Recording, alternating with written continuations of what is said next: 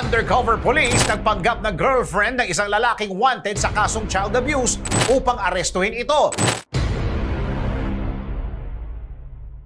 Ang isang lalaking lumuwas ng Maynila dahil sa pag-aakalang makikipag-meet up lang sa kanyang long-distance girlfriend.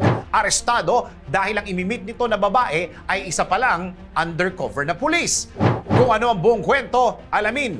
Sa isang video, makikita ang isang babae at isang lalaki na nagkita sa arrival area ng Ninoy Aquino International Airport. Kung para sa lalaki ay isa lang itong typical na meet-up pero para sa babae, isa itong misyon at iyon ay para arestuhin ng lalaki na wanted pala sa kasong multiple counts of child abuse. Para magawa ito, nagpanggap at nakipagrelasyon ng babaeng pulis sa sospek at nakipagkita sa Maynila.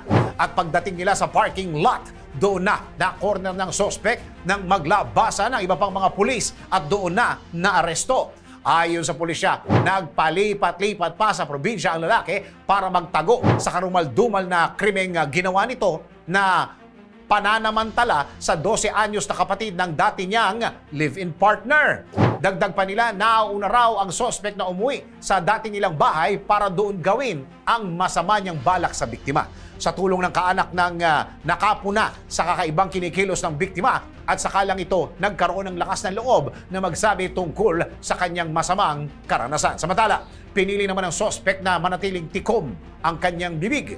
Ikaw, ano masasabi mo sa mala pelikula na operation na ito? DWIZ Research Report. Re- Re- Report.